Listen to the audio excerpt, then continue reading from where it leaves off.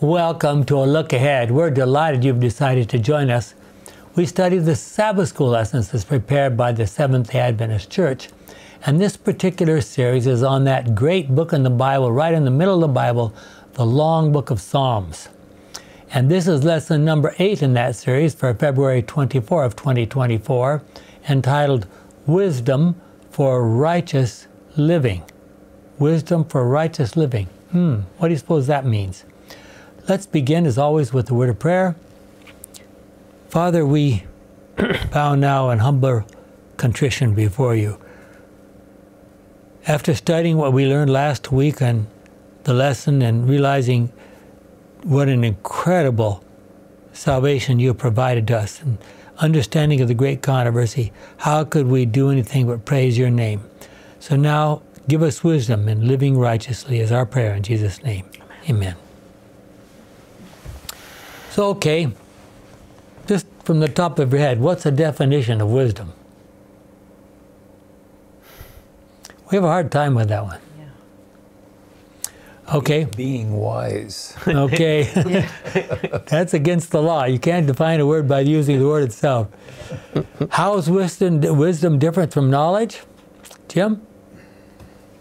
A modern dictionary defines wisdom as the body of knowledge and principles that develops when a specific society or period, within a specific yeah. society and period. Wisdom also relates to the soundness of an action or decision. We also use wisdom to mean, quotes, the quality of our of having experience, knowledge, and good judgment. End quotes. Oxford English Dictionary. And then the Bible study guide says wisdom relates to knowledge, including the ability to make a wise decision. Now, think about that for a moment. What it's saying is if you are really aware of some field, then when people ask you a question about that field, about that particular subject, you ought to be able to give a correct and good answer, right? And that's considered to be wisdom. Okay, when we meet someone with vast knowledge in a specific area of science or literature, we call him or her wise. I remember that Dr. Maxwell used to, te- used to say that an expert is someone who has spent at least 10,000 hours studying one, one particular subject. 10,000 hours studying one particular subject. Wow. Wisdom in our common understanding today often refers to possessing ex- expertise or knowledge in a specialized area for some people, wisdom encompasses secret knowledge and the ability to decipher mysteries or reach a higher spiritual level. This week, we consider what wisdom is from a biblical perspective. Our study will not only define wisdom according to Scripture, but also will attempt to uh, distill principles of wisdom from for daily life. After all, what is biblical wisdom if not practical knowledge and the discernment to live every day according to the precepts of Christ? The aim of our study is to grasp and apply this biblical wisdom to our lives from our Bible study guide. Okay? Deuteronomy 10, 12, 13. Now, people of Israel, listen to what the Lord your God demands of you. Worship the Lord and do all that He commands. Love Him, serve Him with all your heart, and obey all his laws. I'm giving them to you today for your benefit. For your benefit. Okay, so what does God say about his laws? They're good for us. They're good for us. How many people think that God's laws are good for them? Or any law. any law. Or any law for that matter, right, yeah. No, law has been nailed to the cross. But. Well, of course, if you think it needs to be nailed to the cross, what are you saying? You can do anything you want to, right, right. It's not good. It's not good for us anyway, right? Yeah. They misunderstand what laws are. Yeah. Law is the way things work, like gravity and buoyancy right, and so on yeah. and so forth. Rules and regulations and statutes and law codes is what people get together and make up, and then they can make exceptions for so themselves and for other friends. Uh, law is not the way it's done. Well, it's the way it's done, but That- not the way it should be unfortunately, it's- done. It's not the ideal. Let's put it Yeah. that way. Yeah, I, I, I misspoke there. The righteous do not just learn to love God and His ways, but they also hate evil. Oh dear. Why do they hate evil? Because it damages and destroys God's children. So that's a good enough reason to hate it, right? From the Teacher's Bible Study Guide. Thus, we can say that biblical wisdom is, quote, a way of viewing and approaching life which involved instructing the young in proper conduct and morality and answering the philosophical questions about its meaning, close quote. From, Okay. From a source, uh, Evangelical Dictionary. Yeah. Why is it necessary for us to understand the answers to philosophical questions about life's meaning? Is that important? What are the existential questions, real quickly? Why am I here? Where did we come from? Why are we here? Where are we going? Okay? You think it's important for us to understand those questions? If we could. Yeah. So, how should wisdom affect our lives in our day? In Old Testament times, wisdom was considered to be manifested when individuals had a mature faith and followed God's directions in their lives. Would that be true today? Why not, huh? There's no contradiction between having a relationship with God called faith and carrying out His deeds in our lives. If you really believe that all God's directions for us are for our good, why would you not want to carry them out? James 1 5 to 8 says, But if any of you lack wisdom, sometimes I wonder about myself, you should pray to God, who will give it to you, because God gives generously and graciously to all. But when you pray, you must believe and not doubt at all. Whoever doubts is like a wave in the in the sea that is driven and blown about by the wind. People like that, unable to make up their minds and undecided in all they do, must not think that they will receive anything from the Lord. Okay? So, if we followed all of God's directions in the Bible and we understood them carefully, would there be a lot of things that we would need to do that we wouldn't have any directions for? No. It's pretty comprehensive if you understand it correctly, isn't it? What are some of the features of wisdom? Now let's see if we can dig in a little bit more. Our Bible study guide says biblical wisdom is chiefly recorded in the form of poetry. Why would that be? Easy to remember, perhaps memorize. Possibly, but that's that's sort of trying to push our rhyme and rhythm back into Hebrew Hebrew poetry. Hebrew poetry is not like that. What's parallelism? It's parallelism, and that's and that's why I think it's really important because God is saying, if you want to know what this is, compare it to this. If you want to know what this is, compared, and, and sometimes it's if you want to if you want to know what this is, it's opposite to this. So these are parallels, and so parallels are similes, metaphors are we use them all the time, and they're excellent ways of trying to. See. It's not like this; it's like this. That's two similes, two metaphors, right, isn't it? So these are great ways to learn, and so that's why Hebrew poetry is very appropriate. Repetition, immediate repetition. Yeah. And yeah. The books of Job, Proverbs, and Ecclesiastes are the representatives of wisdom literature in the scriptures. Those are the ones that pretty much everybody recognizes. Some authors include Song of Solomon, too, in this grouping, although it must be noted its inclusion is subject to debate. The main themes of biblical wisdom are creation. Think about why these are the main themes creation, the law, counsels for wise and mature living, and the fear of God and retribution. What are we talking about here? Where did we come from? Why are we here? Where do we go after we die? I mean, look at it. The book of Proverbs is perhaps the best known example of wisdom literature in the Bible. Chapters 1 through 9 depict the great value of wisdom. When these chapters are carefully read, one observes that the concept of wisdom comprises a set of teachings for living a godly life with advice about how to avoid the snares of unrighteousness and the wicked and the wicked. From chapters 10 onward, there are more than 600 sayings or proverbs, short sentences with practical advice applicable to various situations. By the way, uh, such as marriage, love, relationships, financial issues, political matters, children, education, etc., and daily life. How many proverbs did Solomon write? A lot more than are recorded in the Bible. A lot more than are recorded in the Bible. That's right. So were some of his More than a- proverbs not inspired? More than a thousand proverbs. The Bible. Probably for Egyptian. It may have had some basis in Egyptian knowledge. Um, I don't. Maybe he married a wi- very wise Egyptian princess.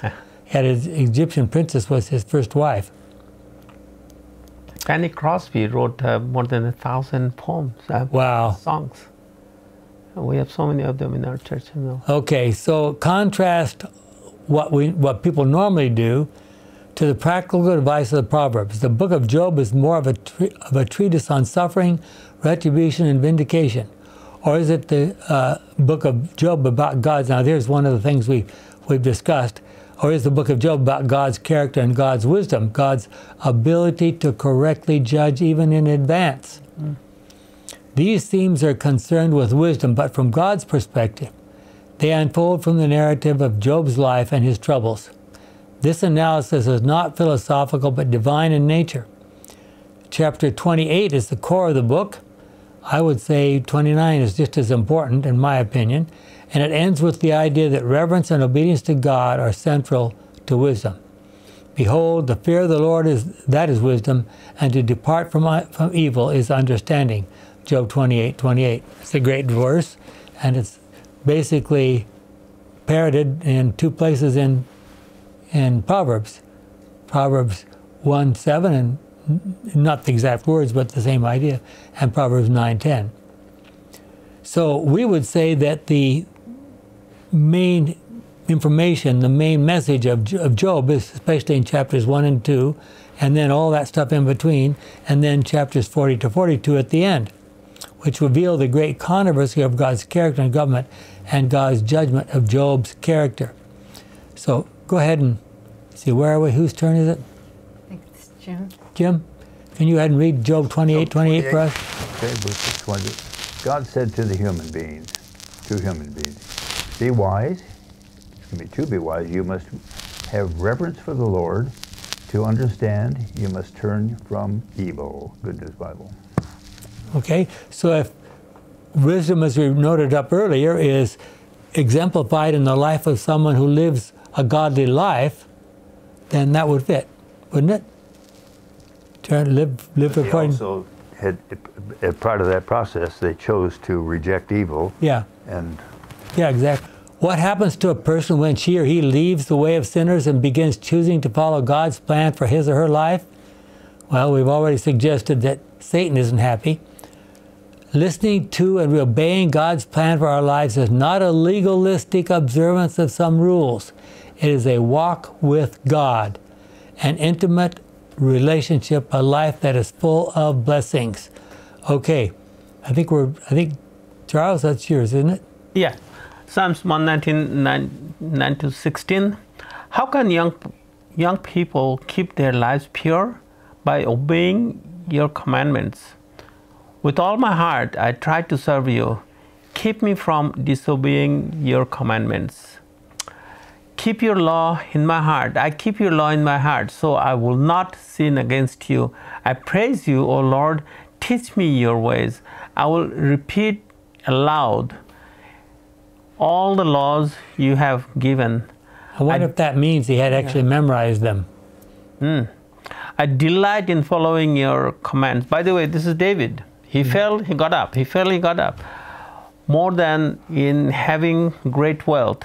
I study your instructions. I examine your teachings.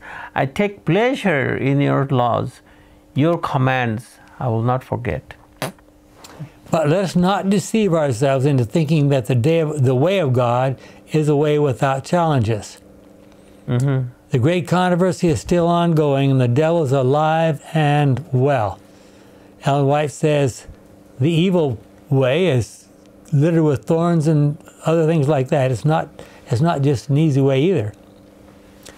Um, but God recognized that He must allow testing to let His children's faithfulness, or in some cases unfaithfulness, to be clearly revealed. Each person must be given a reasonably fair opportunity to decide on which side she or he wants to be. So the question we might uh, want to ask is, why are human beings attracted to sin? Okay, I'm waiting, I'm waiting for some real wisdom to come out of your mouth. Because we're humans. Come on now, I can't do anything about that. Emilio Cannicli used to say, sin happens to be fun for a season, but it leaves us miserable. But yeah. yeah. So, is it clear that even in this life, having a godly life is beneficial? From the Bible Study Guide, Bible Study Guide, the Bible depicts a daily life of faith as a pilgrimage or walk with God in His path of righteousness. The life of faith is maintained by walking, quote, in the law of the Lord, and by walking, quote, in the light of your countenance. These are by no means two different walks. Walking in the light of God's countenance implies upholding God's law. Equally, walking in the law of the Lord involves seeking God with the whole heart. From our Bible study guide. Myra, you want to?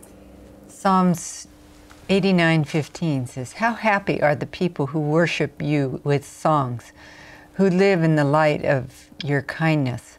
Good News Bible. Have you ever tried to imagine? I mean, obviously, people have tried to do this to imagine what it would be like, or what it will be like, I guess, when we get to heaven. But even here on this earth, what it would be like to live in a place where everyone was always loving and kind and forgiving and isn't it like that in your house? Isn't well, it, isn't it in yours? what are you implying? okay.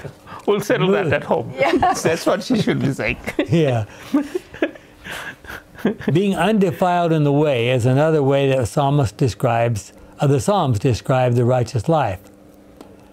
Psalms 119, 1. Undefiled describes a sacrifice without blemish that is acceptable to God.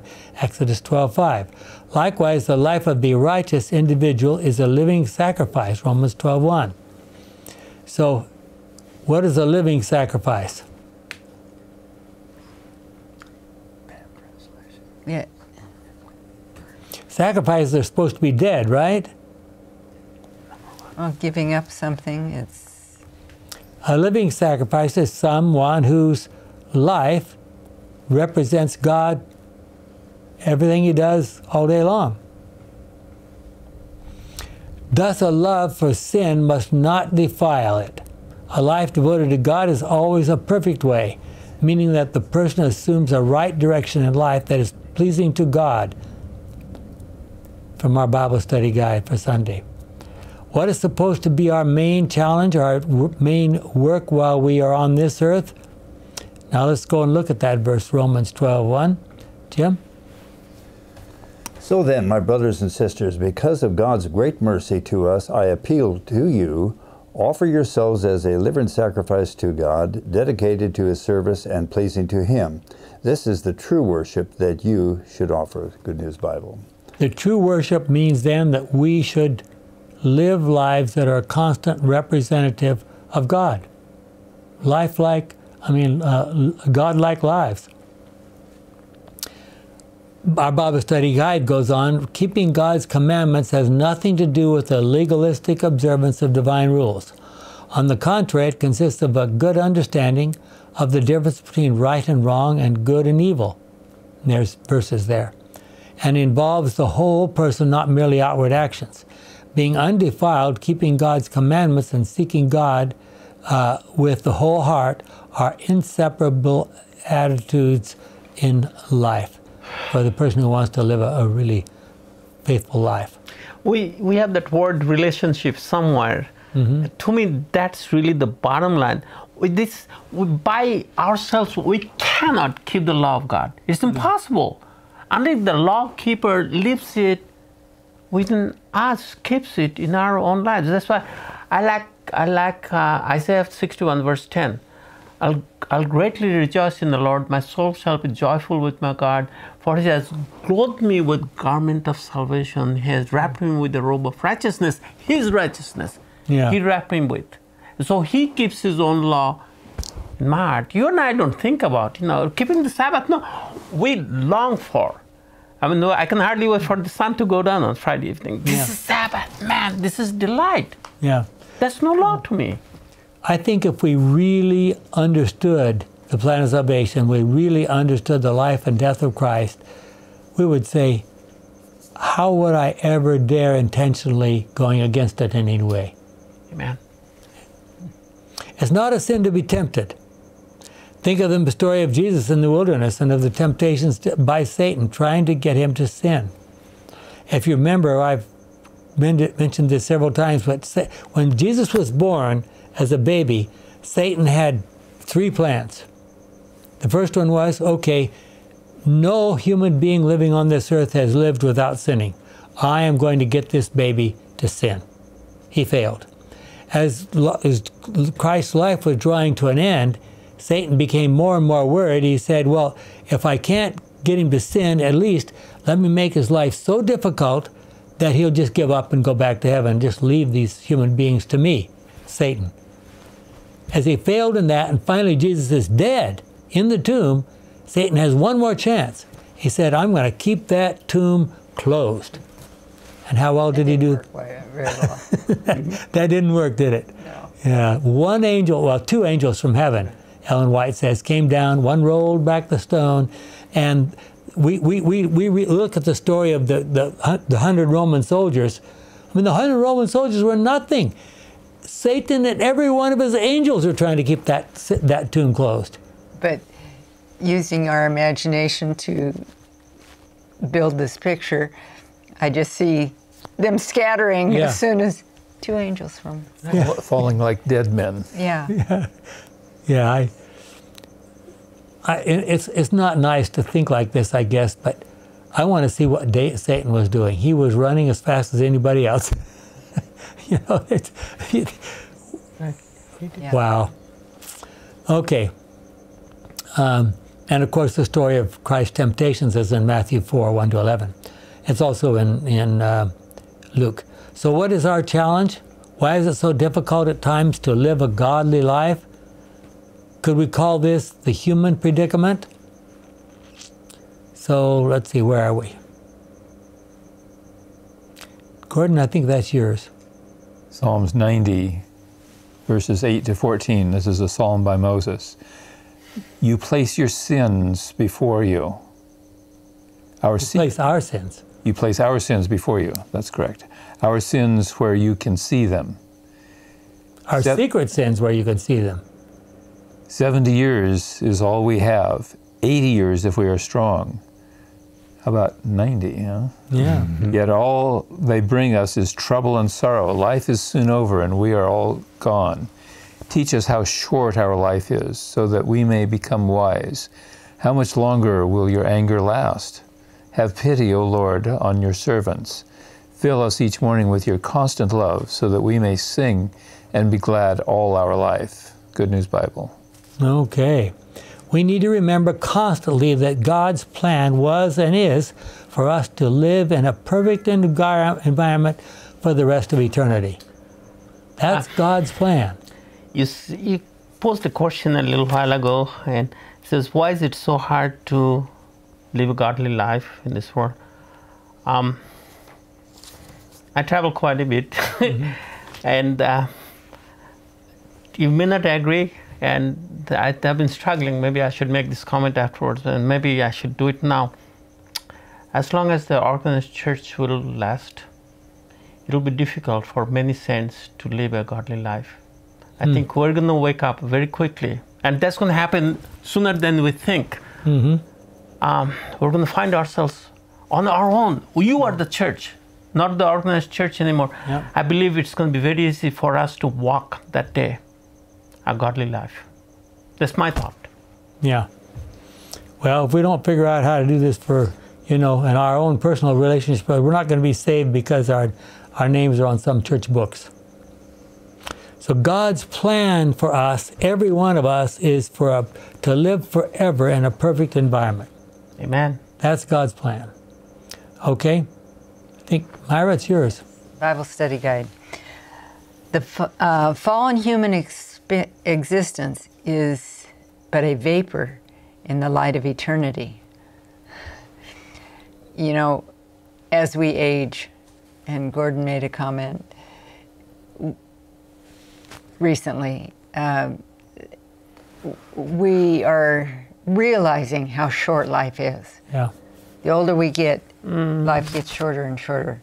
And you look at it in the window of eternity, and it is a vapor. Yeah.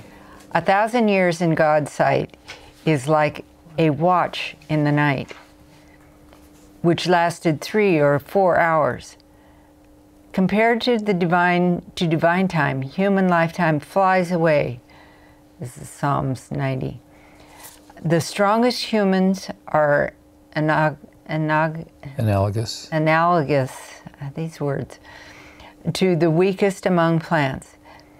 Yet, I mean, we have trees that are 2,000 years old, at least. yeah. Uh, don't get me started on that. Uh, yet, even a, that short life is filled with labor and sorrow. Even secular people who have no belief in God mourn and lament the shortness of life, especially in contrast to the eternity that's out there, and that they know threatens to go on without them. Oh dear. How's that? How's that eternity going to survive without them? But righteous people remember that God is our Father, protector, defender, and sustainer. He is always with us. Amen. God restrains, from our Bible study guide, God restrains His righteousness, um, His righteous wrath, and extends His grace anew. The psalmist exclaims, "Who knows the power of your anger?" Psalm 90, verse 11. That was Moses wrote that, uh, implying that no one has ever experienced the full effect of God's anger against sin, and so there is a hope for people to replace. I'm sorry, to repent and gain wisdom for righteous living.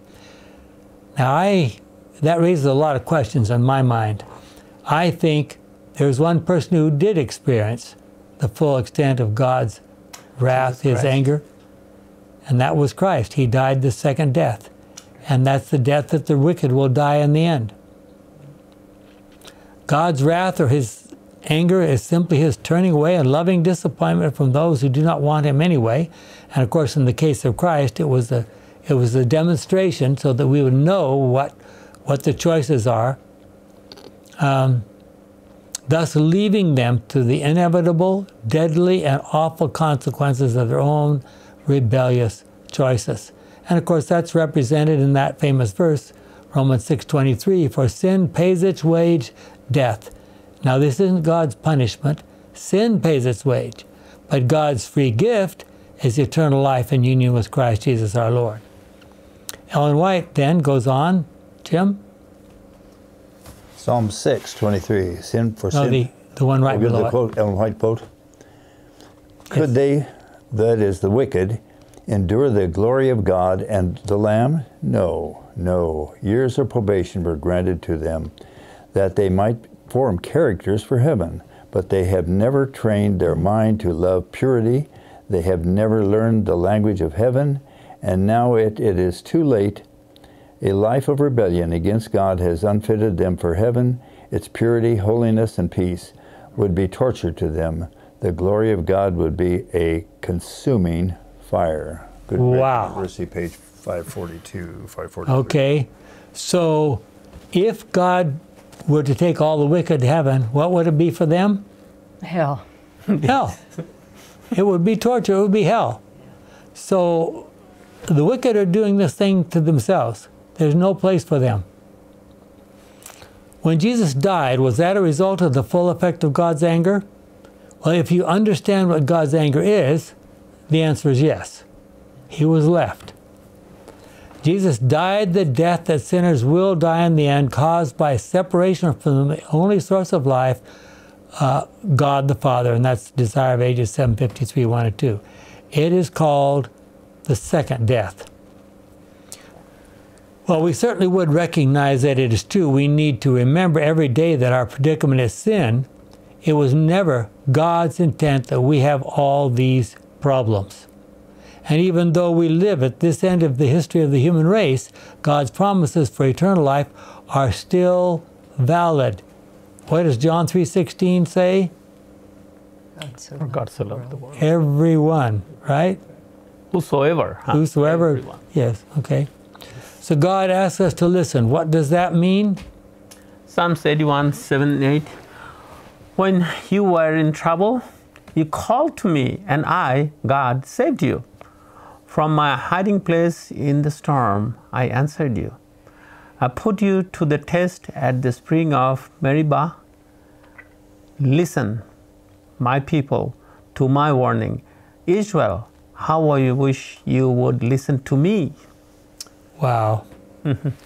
the children of Israel, in their wanderings for those 40 years in the wilderness, should have learned a lesson many times that following God and His guidance was the right thing to do. Whenever they wandered away from His guidance, they ran into all kinds of troubles. But a good example is the experience found in Exodus 17 1 through 7.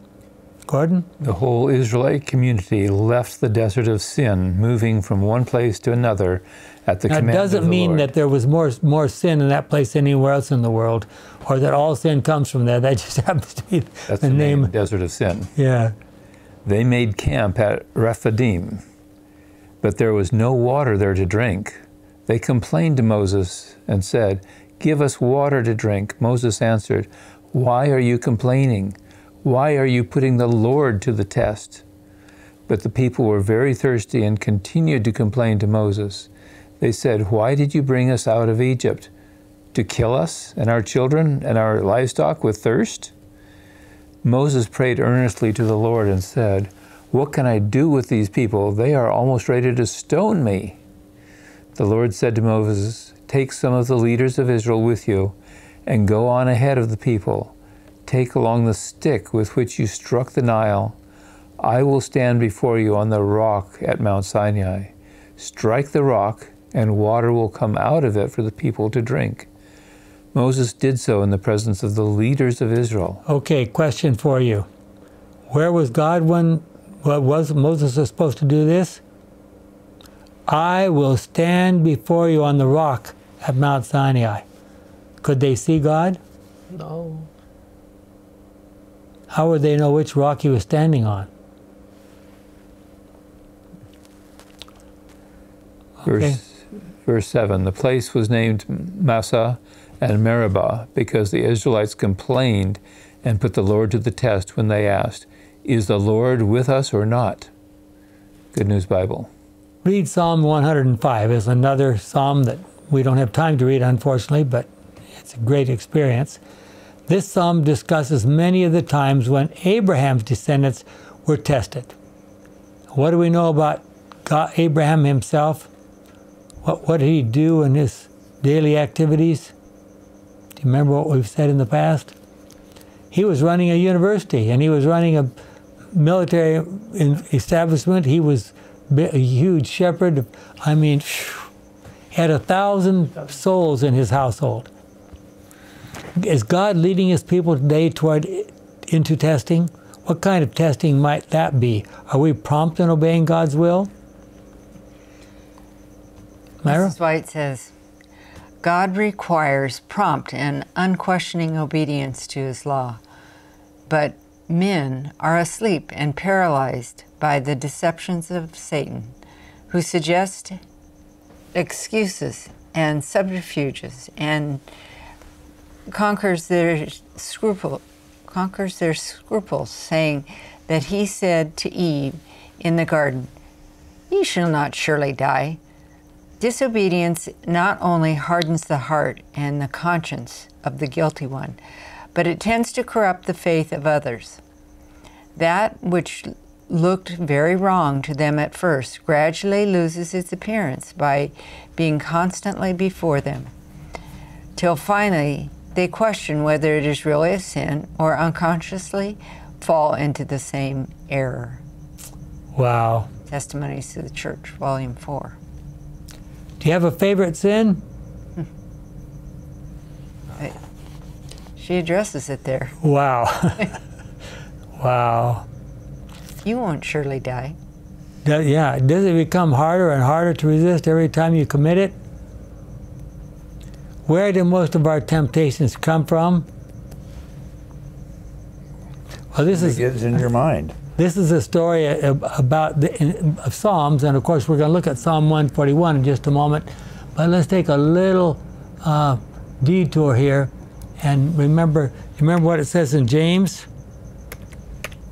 We're going to read it in just a moment. Tempts no one. Yeah.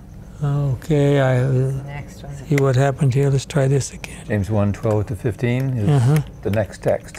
Is it there? Yeah. I did put it in. I'm sorry. Okay. Psalm 141 is a prayer for protection from temptations from within and from without. The psalmist is not only endangered by the schemes of the wicked, there's a verse, but also is tempted to act like the wicked. The first weak point is self control in speech, and the psalmist prays that the Lord will keep watch over the door of his lips. This image alludes to the guarding of our city gates that in biblical times protected the city.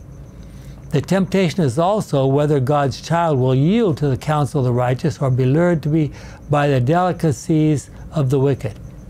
Delicacies of the wicked. What are the delicacies of the wicked?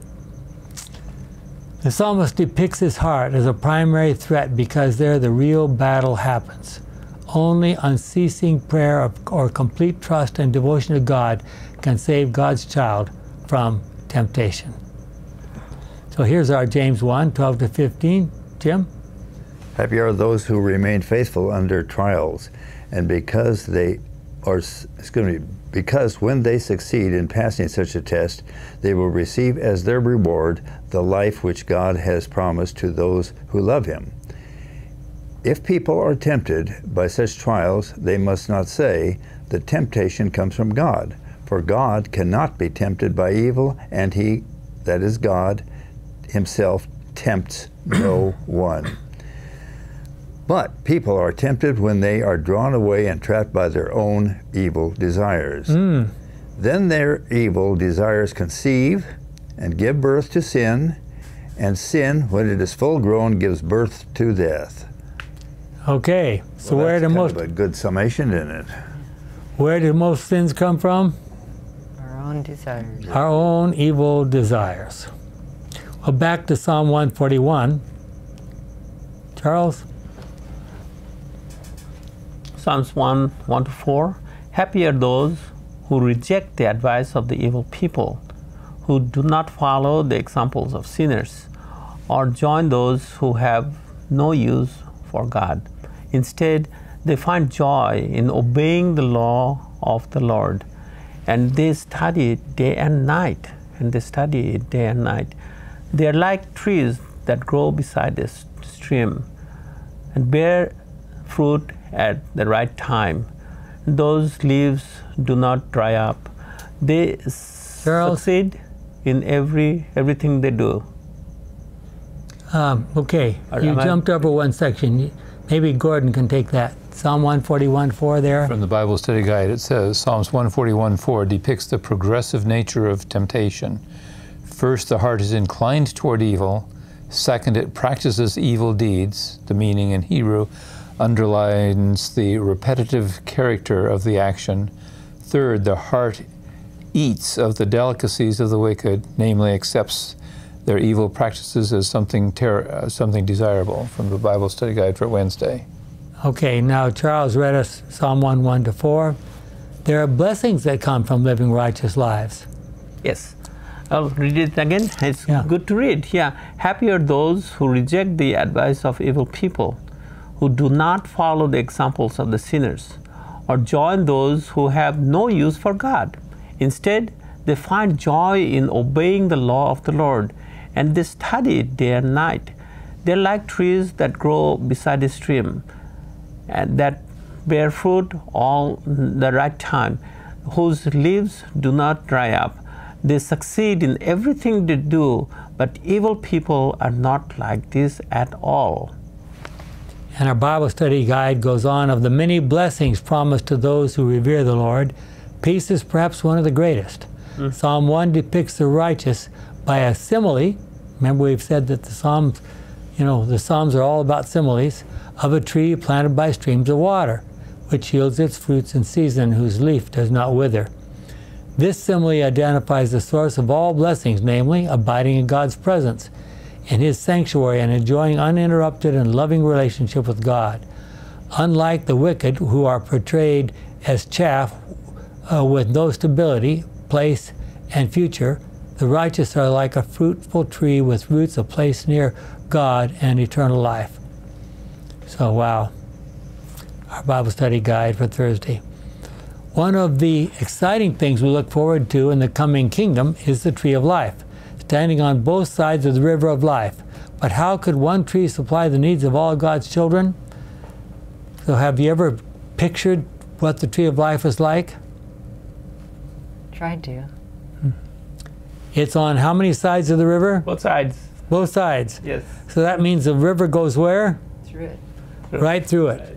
Now we've seen trees, some of us have driven through trees where there's a car, a space for a car to drive through, but I don't think any of us have seen a river going through a tree with both sides. But hmm. not only that, if you go back to the Old Testament and you look at the predictions of the future from Ezekiel, he suggests that there's going to be trees of life all the way along the river.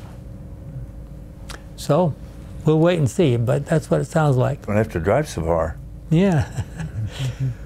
One of the exciting things with, we look forward to in the coming kingdom is the tree of life. We've looked at that already. But look at Ezekiel 49, 47, 12. On each bank of the on each bank of the stream, all kinds of trees will grow and provide food. Their leaves will neither never wither, and they shall never stop bearing fruit. They will have fresh fruit Every, every month. month. I was expecting something a little different than that. They will have fresh fruit every month because they are watered by the stream that flows from the temple. The trees will provide food, and their leaves will be used for healing people. Wow. Good news. So imagine that a whole river and just trees all the way along it and every kind of imaginable fruit growing there. Just hmm. amazing. Okay, Revelation 22, 1 and 2. The angel also showed me the river of the water of life, sparkling like crystal and coming from the throne of God and of the Lamb, and flowing down the middle of the city street. So now there's not only a river, but there's a city street going through this tree, right? On each side of the river was the tree of life, which bears fruit 12 times a year, once each month, and its leaves are from the healing are for the healing of the nations. So what do you think? Are there lots of trees or is there just one? Lots of trees. Sounds like there's lots of them, doesn't it? Are there in fact many trees of life along that river which bear uh, new fruit each month? Sounds like it. What kind of dwelling places will we have in heaven? And Life is not going to be boring. It's the not going to be line. boring, that is for sure. Yes. Yeah. What kind of dwelling places will we have? Jim? Micah, Micah 4 4.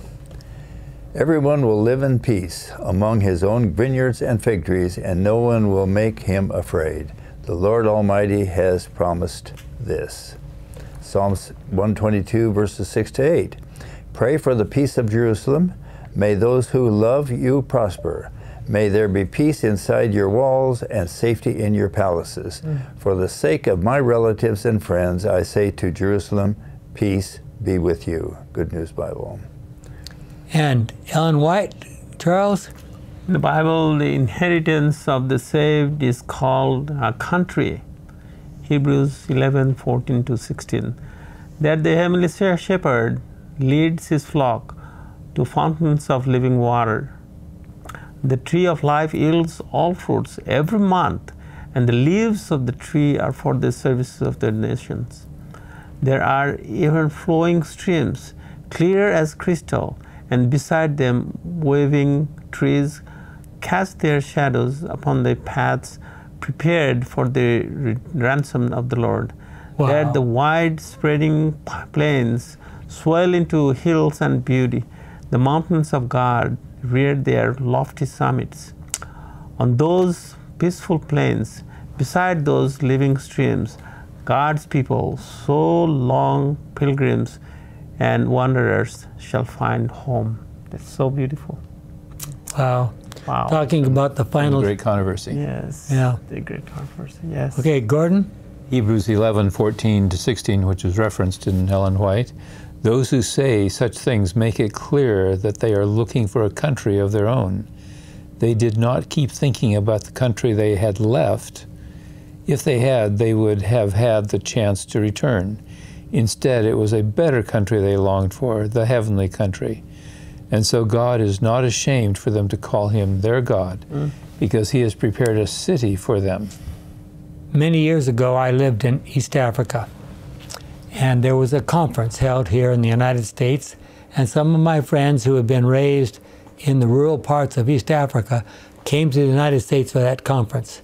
And they saw all the buildings here and the automatic doors and everything like that. And they went back there, and they they just, you know, they they didn't even have words to describe to their friends the things they saw here in this country.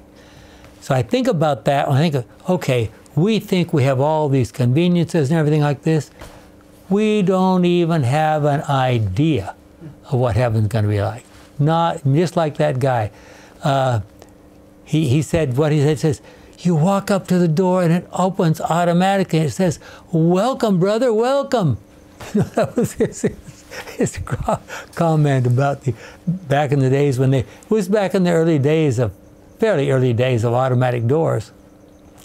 So, the final ultimate form of blessing for the righteous is described in Revelation 21, and that's the whole chapter is all about heaven.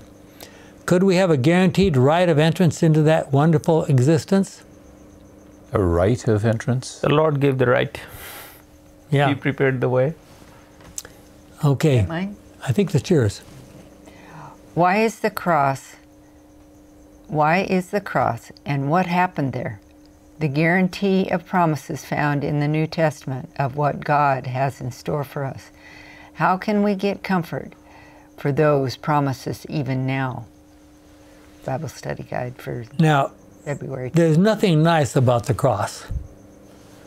Why do we think about the, the wonders of heaven in terms of the cross? Because without the cross, there wouldn't be a resurrection. Or That's with true. what happened at the cross? What happened at the cross? While many Christians view the cross as the place where God paid the price for the forgiveness of our sins, there are problems with that idea. If God paid the price for my sins at the cross, is that a kind of indulgence? An indulgence is a guaranteed permission to commit a sin because that, that person has or had paid the price for forgiveness already. The Roman Catholic Church once offered indulgences to raise money to build St. Peter's Cathedral in Rome. And if Christ paid the price for all sins, shouldn't everyone be saved? Wouldn't that be the conclusion? If God, Christ paid the price for all sins, shouldn't everyone be saved?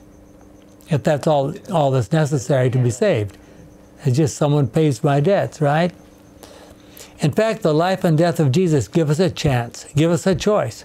We can live lives as close as possible to the example given us by the life of Jesus, or we will die the awful death that he died, not on a cross, but separation from separation from life, uh, from the source of life, separated from his Father, the only source of life. And Ellen White says that Jesus standing, I mean, standing, whatever you want to call it, there on the cross, nailed there to the cross, and think he's been beaten in his back and he's got crown of thorns on his head. And what was most concerning to him? The thing that overwhelmed him more than anything else. Why have you forsaken me? Why have you forsaken me? See God. He could not see It God. It wasn't that he was that the Father forsook him. It was that the, his people, the Elohim, had forsaken him. No, his father had, in effect, as a demonstration of the results of sin, he was he was he wasn't a sinner, But His- God was demonstrating the results of sin. His plea was to the Elohim. Oh, there's nothing that says that. It does. No. You got a mis- mistranslation. You, yeah, you've been. Well, anyway. Well, uh, that that's it was. You know, I mean, he. If if that didn't happen, the physiology of crucifixion would have killed him uh, fairly soon, as you know. Uh, but uh, losing all the blood, for example, also not being able to breathe, da da da. But no, he he. The, his father turned his back on. Let's say that's He said so. He- Jesus yeah, himself know, said so. yeah, Eloi Eloi lama sabachthani. I think that's Yeah. the word. Yeah. Why have you forsaken me? In these modern times, obtaining wisdom seems not to be so desirable as achieving happiness. People would rather be happy than wise. However, how can we rely, how can we truly be happy and live a fulfilled life without godly wisdom? The Psalms clearly say that we cannot. The good news is that we are not asked to choose between wisdom and happiness. Godly wisdom brings genuine happiness. Okay, and Psalm 1 1 that you already read. Who's who's come who's next here?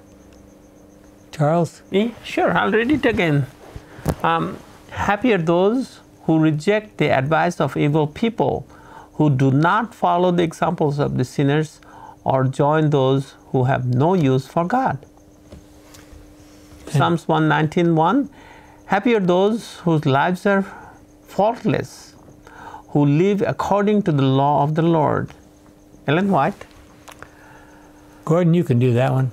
Okay. From Steps to Christ, Ellen White said, Thank God for the bright pictures which He has presented to us. Let us group together the blessed assurance of His love, that we may look upon them continually. The Son of God leaving His Father's throne, clothing His divinity with humanity, that He might rescue man from the power of Satan. His triumph in our behalf, opening heaven to men, revealing to human vision the presence the presence chamber where the deity unveils his glory. The fallen race uplifts from the pit of ruin into which sin had plunged it, and brought again into connection with the infinite God, and having endured the divine test through faith in our Redeemer, clothed in the righteousness of Christ and exalted into his throne. These are the pictures which God would have us contemplate. Wow. That's one long sentence. Yeah, exactly. Okay, Myra? Bible Study Guide says, How can God's Word become the source of one's delight and not merely instruction? How is feeding on God's Word related to abiding in Jesus Christ, the Word? John. From John. Okay. And 1 1, John 1 1.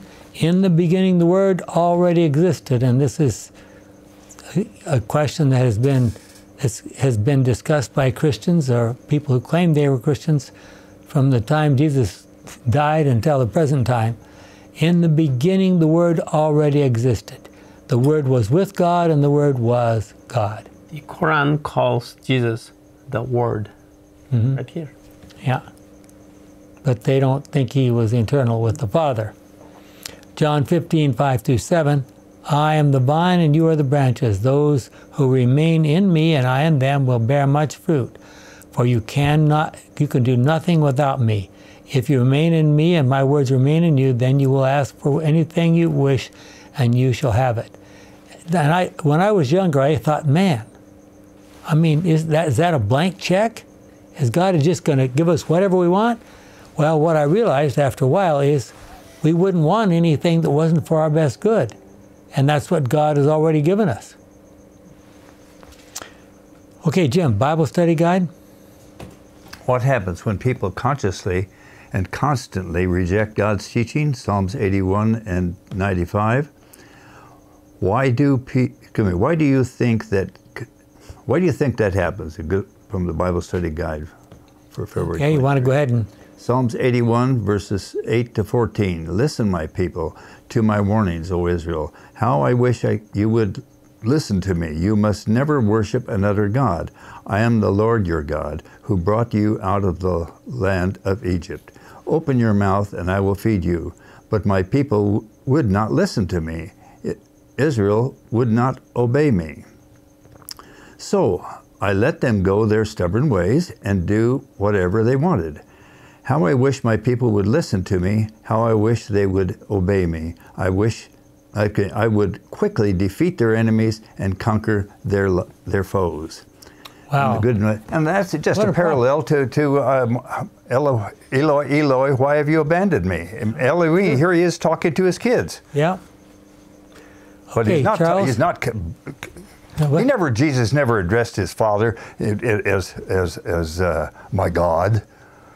That's 12 now. the Bible study guide there. Okay, Bible study. Why can the way of the wicked sometimes appear more desirable than the counsel of the righteous? Psalms 1, Psalms 4, 141. That is, how do we deal with the apparent fact that of, uh, oftentimes the wicked seem to be doing very well? Okay, in summary, In some, biblical wisdom as taught by the Old Testament is an understanding of crucial salvific uh, issues, such as our, on, our origins, creation, the law, the principles of God's character in our daily life, the fear of God, a reverence, reverent love that results in joyful obedience, and retribution, the fate of the righteous and the wicked. Wisdom also is practical knowledge that prepares us to live a mature and godly life in the home within our neighborhoods and at the workplace. Furthermore, biblical wisdom is godly advice for the living for living harmoniously with our spouse and children. And I've said before that I think that the reason God wants us to marry people of the opposite sex is because we need to learn how to get along with people who don't think quite like us. True. Okay. There's a, I need you. confession. Yeah. Mm, Furthermore, biblical wisdom is godly advice for living harmoniously with our spouse and children. It equips us with principles that guide our use of money and many other aspects of daily existence. So, in this lesson, what have we learned? God wants you to listen. All God- his children, He wants them to listen. This business of obedience, we should uh, put that word on the side. He wants you to listen and li- listen to his Well, message. He has a message but- for healing. Well, obedience. In the Bible means a humble willingness to listen. People just need to understand that. That's what the word obedience means in the Bible. So that shouldn't be a problem. Well, it is a problem for a lot of people. Yeah. It is for a lot of people, truly. Let's pray. Our kind and loving Father, we thank you so much for the blessings that we enjoy from our weak, maybe and feeble efforts to follow your advice. It's a, such a blessing to us. Help us now as we seek to understand you better, that that may be our experience each day as our prayer in Jesus' name. Amen.